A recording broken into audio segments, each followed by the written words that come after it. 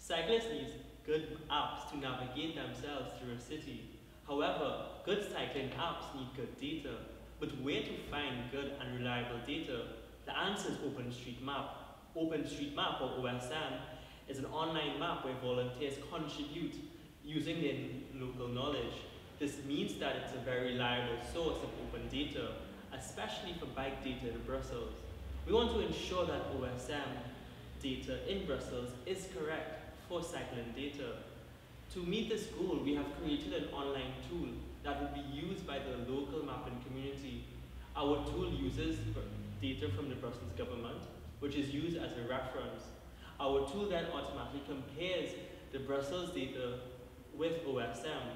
The result of our work is already evident. In less than one week, most of the issues on OSM for Brussels is resolved.